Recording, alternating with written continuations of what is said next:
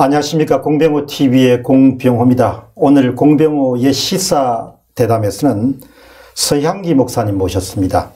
공명선거 정치 총연합회 대표로 계십니다. 최근에 우리 사회에서는 4.15 총선이 끝난 이후에 부정선거에 대한 의혹이 계속해서 이렇게 논란이 대상이 되고 있기 때문에 오늘 그 문제를 특히 현장에서 어떤 일이 일어나고 있는가를 점을 집중적으로 한번 논의해 보도록 하겠습니다. 반갑습니다. 예, 반갑습니다, 박사님. 어려운 시간 내주 고맙습니다. 네, 감사합니다. 예. 이름이 아주 이쁘십니다. 향기니까. 네, 주님의 향기가 좀 예. 나타나라고.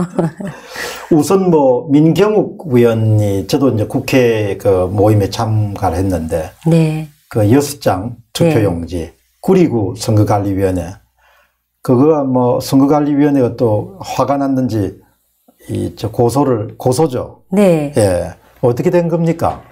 네.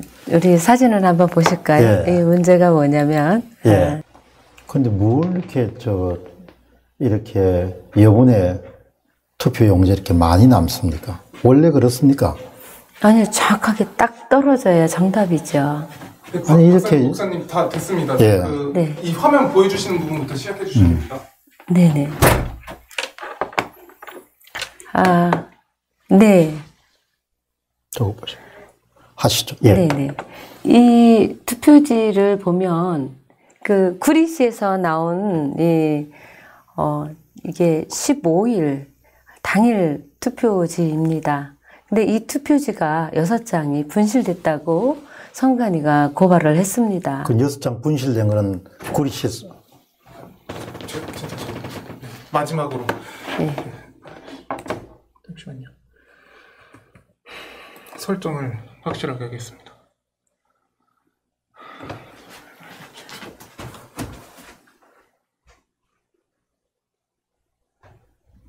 그 많은 그 중에 여섯 장이 분실된 거 어떻게 알았어요?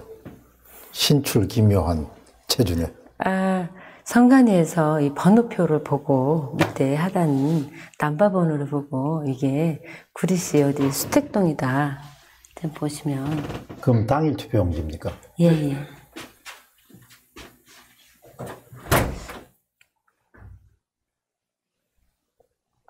선거관리위원회는 뭐 그런 공직에 계신 분들이 일, 일년에 뭐 한두 번 정도 선거 치를까 말까 하는데 이런 거 하나 제대로 뭘 못해요. 참 박사님 준비됐습니다. 네. 대책이 없는 사람들 같아. 네. 아, 하시죠. 예. 네, 우리가 지금 민경욱 의원님이 어, 투표 사전 투표가 아닌 본 투표 15일 날 투표용지 다섯 여섯 장에 당일 투표 여섯 당일 장. 투표 여섯 장이 없어져서 음. 이제 선거관리위원회에서 우리 민경욱 의원님을 고발을 하고 또 투표 제보자를 고발한 것으로 알고 있습니다. 이제 음. 의정부 지검에서 조사를 하겠다고 했는데요.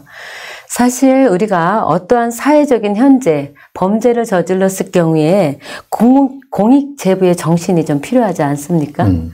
공익 제보의 정신은 사익을 위한 것이 아니고 또 공익을 위한 목적으로 제보를 당연히 해야 되지 않을까 생각합니다. 또한 공익을 위해서 제보하라고 우리가 투표 참관인, 개표 참관인 그렇게 국가에서 선거관리위원회에서 오, 보수를 지급하면서 네. 이렇게 우리가 숨은 어, 비리를 적발하라. 그런 의도에서 국가적인 차원에서 예산을 들여 우리가 참관인을 두고 있는 것인데 그러면 현장에서 부정, 비리, 불법 조작하는 것이 있으면 우리가 그걸 잡고 우리가 그걸 통해서 고발하는 것이 당연하지요. 예. 박사님, 그래서 그렇죠? 이제 뭐 사회가 한 단계씩 이제 깨끗해지고 나아지지 않습니까? 네. 예.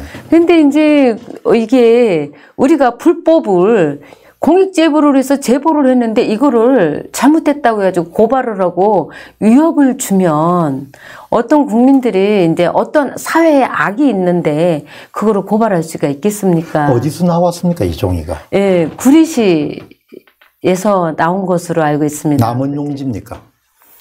아, 남은 용지가 아니고 개표하는 당시에 거기서 어떠한 지인이 그 개표하는 사무원이 너무 많이 나오니까 이거를 한번 조사 좀 해보세요 하고 건네주었다고 합니다. 어, 그런데 그러면 제 개표 당일날 개표 현장에서 아무 표시도 안 된 이런 종이가 무더기로 나왔다는 겁니다. 예, 무더기로 나온 중에서 일부분 남바 번호가 있는 상황에서 여섯 장을 건네주면서 이것이 불법이 아닌가. 그럼 어디로부터 온 겁니까 이런 종이가? 아, 저 이제 아시는 지인이 어 이거는 이제 공익 제보를 위해서 이거를 좀 조사를 해야 되는데 이 부분에 대해서 이제 말씀드리기 전에 어 불법이 있는 현장에 구리시에서는 투표한 박스 한 통에 용지 색깔이 다른 사전투표 그럼 비례대표 한번 보시죠. 여기가 네. 지금 보시면은 이게 절치선이 절치가 안 됐다는 이야기는 이건 정상적으로 그 투표가 되지 않는 종이잖아요. 네, 근데 이 종이가 개표 현장에 있었다는 이야기입니까? 그렇죠. 그거 어떻게 되는 거죠, 그게? 투표함에 들어가려면 이걸 짜, 저, 자르지 않습니까? 네, 지금 문제가 이 절치선이 있는 것은 당일인데 사전에는 여기다가 QR코드를 넣어가 지금 문제가 되고 있는 거지 않습니까? 네. 근데 이게 어떻게, 그럼 선거가 마치고 나면은 그 만일에 이렇게 좀 여분이 남았으면 그걸 대부분 다 수거해가지고 별도의 장소에 보관하는 걸로 내가 그렇죠. 알고 있는데. 어, 선관위, 지역구 선관위에, 특별히 지역구 선관위에 특수 보관하는 장소에 보관하게 되어 있죠. 음. 한 장도 더 들어갈 수가 없습니다. 음. 왜냐하면 투표하면 투표 한 박스에 반드시 특수 봉인지를 붙여가지고 이거를 딱 봉인하게 되어 있어요. 음. 그래서 한 장도 더 이상 들어갈 수가 근데 없습니다. 이게 어떻게 이렇게 절치선을 따라가지고 잘라지지 않는 당일 투표 용지가 개표 현장에 있는가 말이죠. 그거는 어 제가 생각하는 것은 예, 더 뭐- 많은 많은 용지를 바꿔치거나 아니면 63대 36 그 값을 어, 온라인에서 그런 값을 맞춰야 되기 때문에 그 맞추기 위해서 어, 투표지를 더 넣었다라고 생각합니다. 그렇게 생각하시고. 예, 그, 더 넣었으니까 저게 나왔죠. 아니 근데 저는 뭐 네. 도무지 이해할 수 없는 것이 이 절치선을 짤, 이 절치선을 자르고 난 다음에 정상적인 경로로 이게 그러면 이제 투표함에 들어가 가지고 네. 그 다음에 이제 개표 장소로 옮긴 다음에 개함을 하는 거잖아, 그죠? 네. 그런데 이게 자르지 않는 상태로 이런 그 투표 용지가 개표 현장에서 무더기로 발견됐다는 것은 뭐 상당히 많은 그런 그 투표 용지를 찍어 놨다가 뭐 다른 어떤 그런 용도로 쓸기 위해 가지고 개표소에 대기 상태에 있었다. 이렇게밖에 오해를 할 수밖에 없잖아요. 네, 그렇죠. 네, 왜냐하면 한두 장이 아니고 여러 장 중에서 그분이 예, 주셔서 가지고 이제 공익 제보 차원에 아 이걸 고발을 해야 되겠다 생각해서 이제 예, 일단 저한테 한번 보여주셨고 또 그리고 난 이후에 민경욱 의원님께 이거를 밝혀달라라고 제보하신 거로 알고 있습니다. 음, 제가 한 가지 좀, 좀 물어보고 싶은 거는요. 네.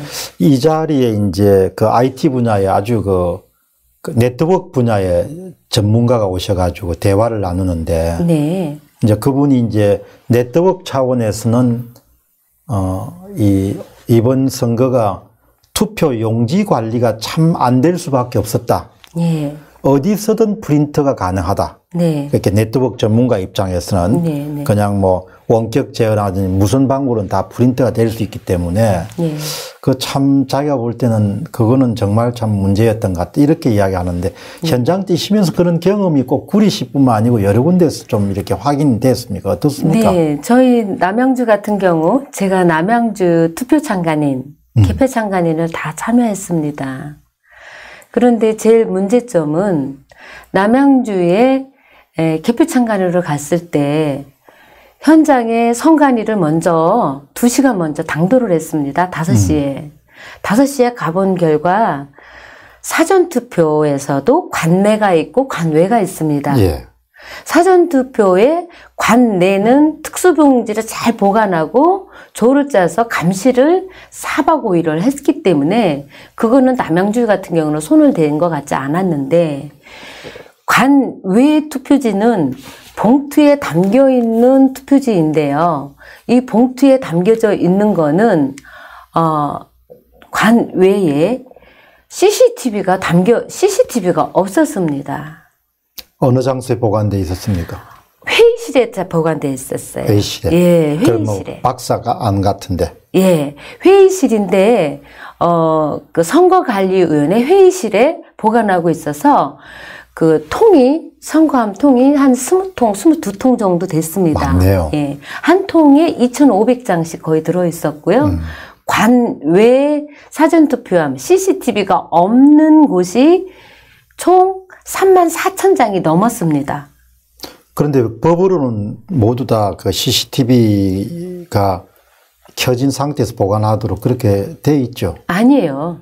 저희가 처음부터 오구 대선 때도 그렇고 CCTV가 없어서 6.13도 그렇고 저희가 선관위에게 CCTV를 달아서 보관하고 우리가 정보 공개를 했을 때 그거를 달라 음. 청구도 하고 집회도 하고 지금도 선관위 앞에서 집회를 하고 있는데요.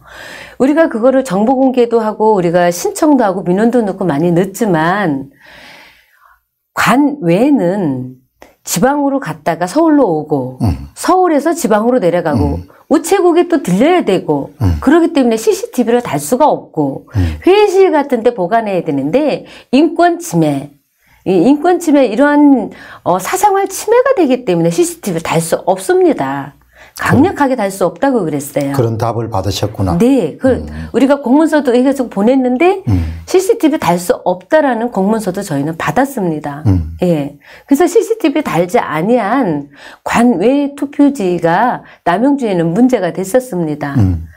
그 달지 않은 상황에서 3만 4천 정도가 나왔으면 우리 어, 주강덕 의원이 8천 몇백 프로 떨어졌어요. 대단해. 그러면은 한 사람 앞에 만 표씩만 더 분할해서 나눠줬다고 생각을 했을 경우에 예를 들어서 음. 만 표씩 떨어지면은 세 명 다 자기가 원하는 사람이 다 당선이 되는 거죠. 음.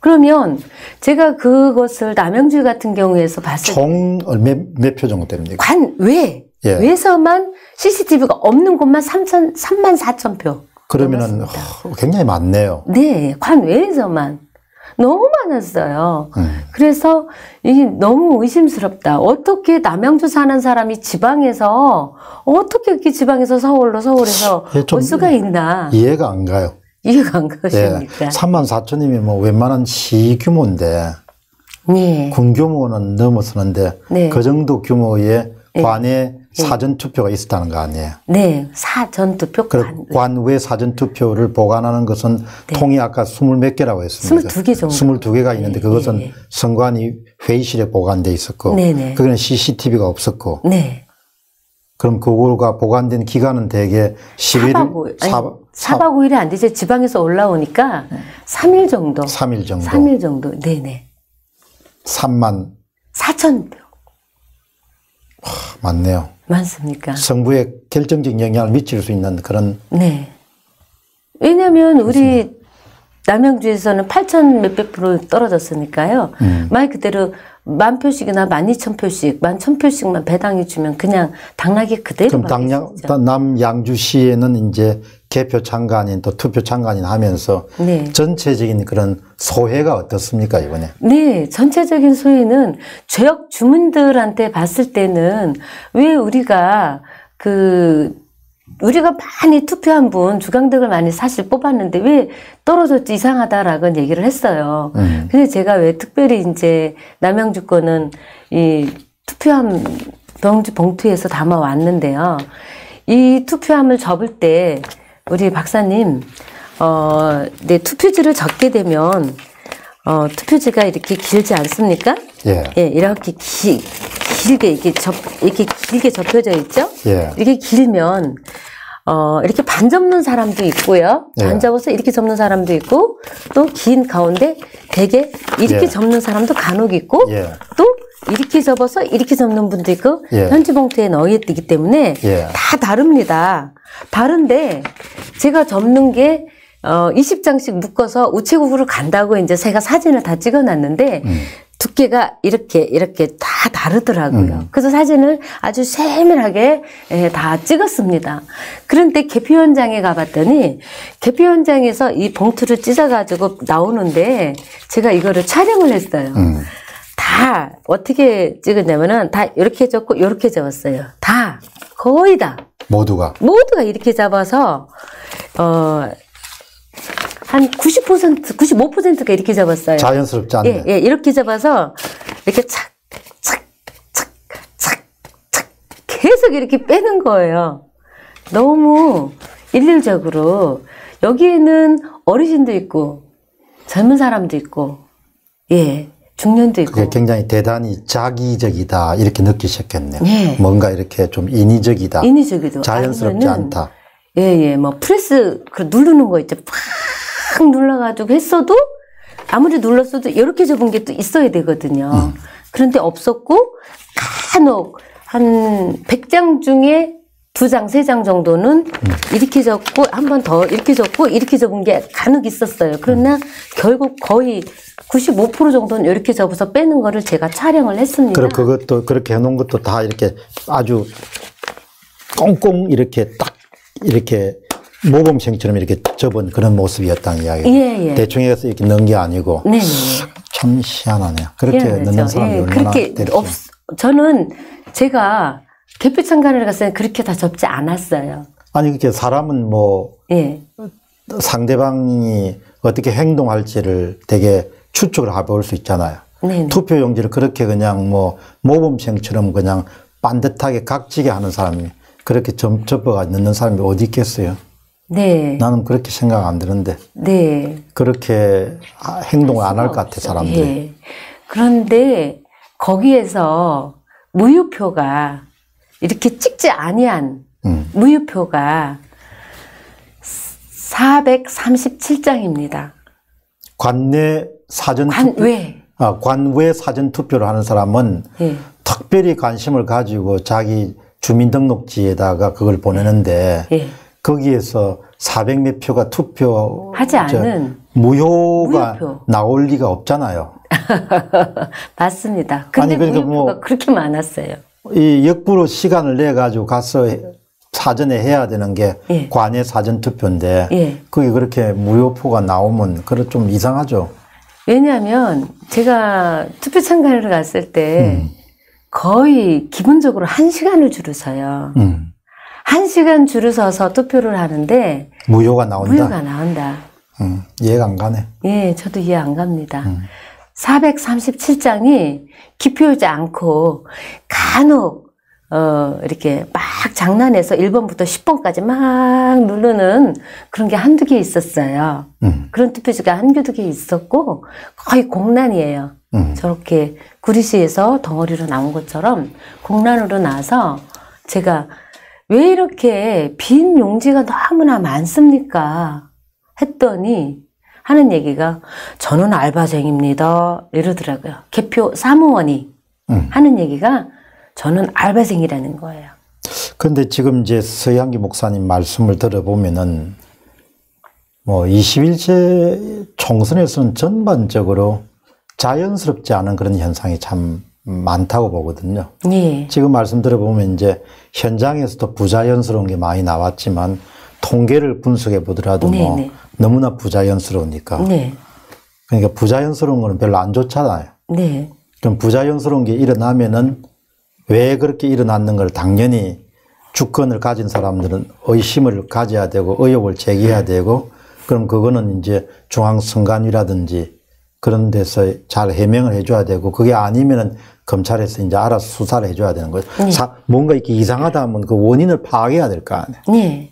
그 인과관계라는 게 네. 원인이 있어야 결과가 뭐가 이상하다는 결과인데 이상한 결과가 나올 때는 무슨 원인이 있을 거 아니에요. 예. 그 원인을 아무도 이야기를 안 해주니까 가, 네. 갑갑한 거죠. 근데 더 신기한 거는요, 박사님. 이, 이 편, 이 우피의 봉투가 이제 막 찢어가지고 다 이제 버리고, 이거를 수강으로 다 버리고, 이제 빼가지고, 이제 일률적으로 빼가지고 보관하고 놨는데, 이상하게, 어, 와부읍이 남양주입니다. 음, 와부읍. 와부읍. 예, 와부읍에서 별내읍, 왜냐면 다산 일지구, 이런 식으로 다 오는데, 이제 발송지가 어디가 없고 또 도착하는 것만 이렇게 나왔는데요.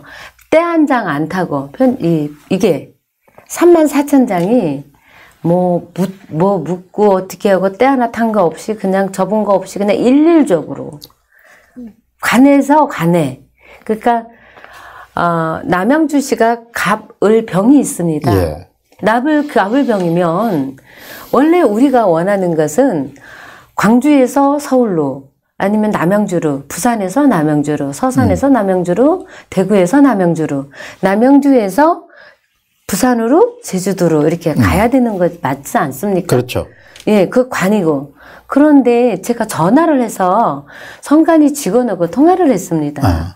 왜 와부읍에서 와부읍으로 이렇게 관외로 됐는데 왜 이거는 관외로 해서 붙였나요? 했더니 와부읍에서도 표하는 사람이 갑이 있고 병이 있고 을이 있는데 와부읍에서 을직으로 보내면 그것은 관외가 됩니다. 이러는 거예요.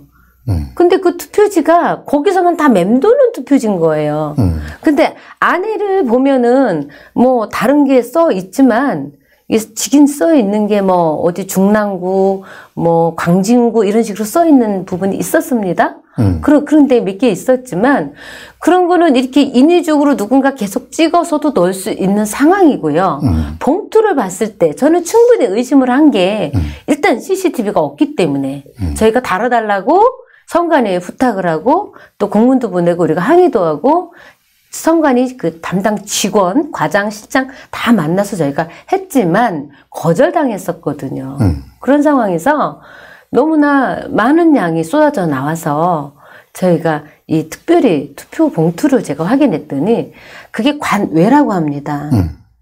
박사님, 테이블이 개표할 때열 군데가 넘어요. 1번부터 쫙 해가지고 투표를 합니다. 제일 마지막 그 개표하는 곳에, 개표하는 곳에만 이거 사전 관외 투표만 개표를 했습니다. 그러면 그걸 싹 쏟으면 거기에서 여기 을지구, 병지구 이렇게 거기서 거기니까요. 주면 되거든요. 이렇게 나눠주면 되는데 그렇지 않고 정확하게 병 만 개, 을 만 이천 개, 뭐 누구 만 천 개 이런 식으로 그러니까 그렇게 이렇게 나눠져 있더라고요. 그래서 제가 사진을 다 찍고 한석봉 어머니가 떡국 쓸 때 정확하게 썰었던 것처럼 정확하게 예, 접는 걸 보면서 너무 냄새가 난다. 너무 빈 용지가 많다. 이 구리시만 이런 게 아니라 사전투표 관 외에서도 너무 빈 용지가 많이 나왔다.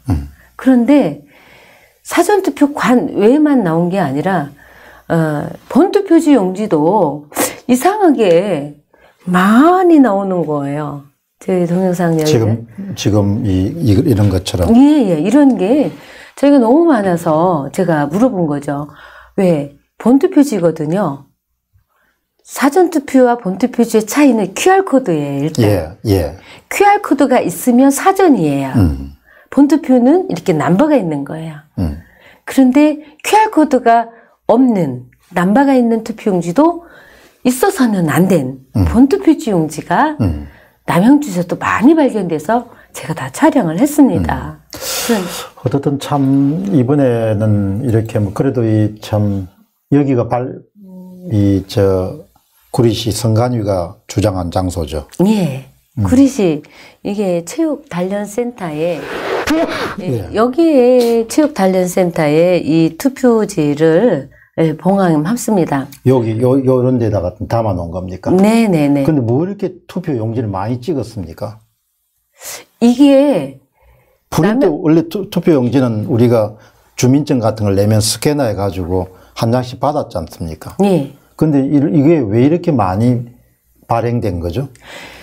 저게 관외 투표지입니다. 이건 구리시 거죠? 관외. 예.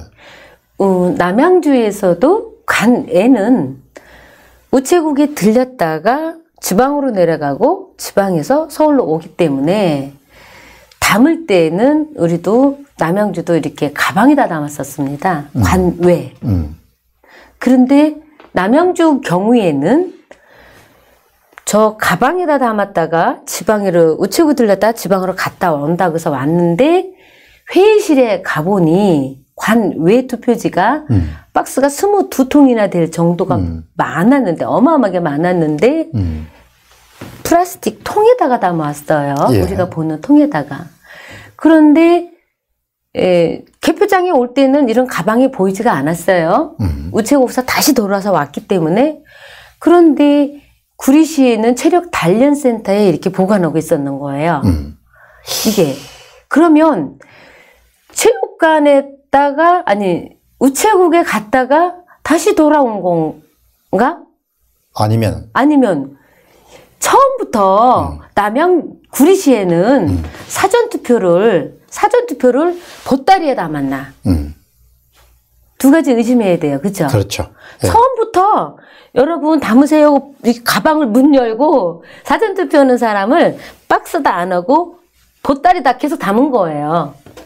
아니면 그럴 리가 없잖아요. 그럴 리가 없죠. 예. 근데 참관인한테 다 물어보니까 박스에다가 봉인하고 사인을 담았다. 다 했더라고요. 했다고. 예, 사인 다 했어요. 그러니까 거기에는 들어가지 못하게, 한 장도 들어가지 못하게 아침 새벽 5시 30분에 음. 투표 참관인에 갑니다. 음. 그러면 여러분 투표 참관인에 어, 여기가 아무것도 없죠? 하고 이제 이거를 보게 되는 거예요. 음. 음. 예. 여기에 이제 제일 여쪽에 보면은 이런 식으로 이제 요것만 하나 보자면, 보자면 예. 예, 예, 이런 식으로 여러분 아무것도 없죠 하고 보여준다는 거예요. 예, 보여주고 이제 봉인을 하게 되어 있는 거예요. 음, 예, 예, 예. 그런데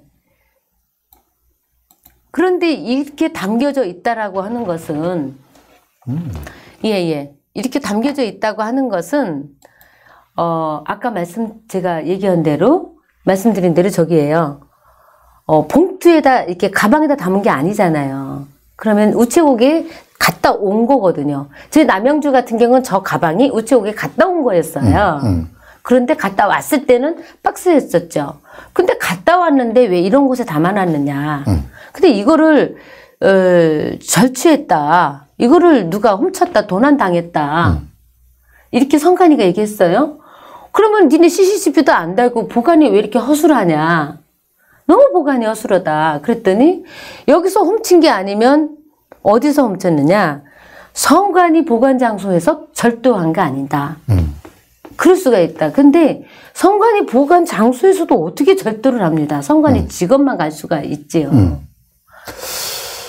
자, 이거 그럼 여기에 담겨 있는 것은 저거 저는 남양주 같은 경우는 QR 코드가 있는 음. 사전 투표라고 생각합니다. 음. 그런데 여기는 지금 여기서 훔쳐갔다고 어, 성관이가 말했잖아요. 예. 그런데 일련 번호가 있는 15일 당일 당일 본투표지잖아요.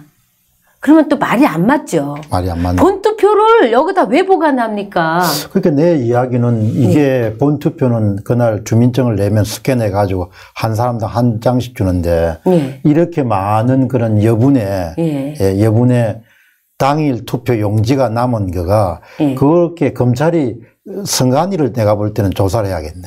어, 그렇죠. 왜 이렇게 이런 걸 이렇게 많이 찍어가지고 놔놨냐고.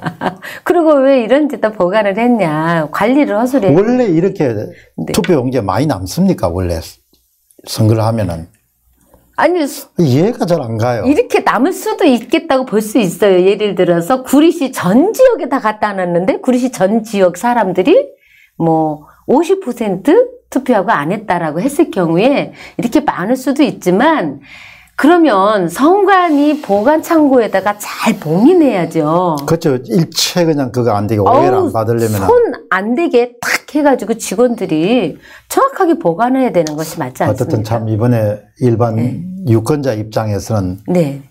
이런 자괴감이 많이 들었어요. 아, 이 나라가 우리 수준이 이 정도밖에 안 되구나. 아직. 예. 야, 어떻게 나라가 이렇게 지금 이 투표 관리 하나 가지고 이렇게 홍역을 치룰 정도의 그 정도 수준밖에 안 되는가 그런 생각이 참 많이 들거든요. 네. 예. 그래요. 우 박사님. 그런데 아까 제가 설명드린 게 그게 관외라고 말씀드렸죠. 예. 남영주 같은 거는 그 가방이 관외에 있었어요. 예. 근데 사진 찍은 거 이제 보니까 여기도 관외가 또 있는 거예요. 음. 관외 사전 투표함이라고 또 써 있죠. 음. 그러면 진짜 그 가방은 무엇이냐? 그러면 개표장에 그렇게 많이 어, 투표 안 한 용지를 갖다 놨냐? 음. 아니면 관외가 두 개잖아요. 구, 남영주를 비교했을 때는 관외가 두 개가 되는 거예요. 그렇죠. 가방도 되고 이것도 되고 음. 너무 신기한 거예요. 두 개가 된 거예요. 음. 그래서 이게 이제 이렇게 관외 5-1, 5- 이렇게 다 관외로 이렇게 쫙 있는 거예요. 이게 다 관외지 않습니까? 예. 5-2도 있고, 그쵸? 근데 그거는 왜 그런 백을 백을 썼죠? 원래는 원칙적으로 이렇게 보관해야 아니야. 되잖아요. 그렇죠. 관외는 네. 이것도 보관하는 장소에는 CCTV가 없습니다. 관외는. 그런데도 이것도 있고, 음. 또뭐 가방도, 가방도 있고. 있고 예. 그리고 CCTV도 없고. 여창수 마음대로 아니, 우리 믿어라. 우리 체육관 센터 모든 사람들을 믿고 살자. 예. 그거는 아니죠 뭐 아, 인간이란 건 항상 범죄를 저지를 수 있기 때문에 네. 항상 법과 원칙을 따를 필요가. 근데 이게 이게 관내예요. 이게 너무 신기합니다. 그런데 이제 관내 거지 제가 사진을 다 준비. 이건 또 이게 관내예요. 음. 이게 관 이거는 아시죠? 예. 예, 이거 관내예요.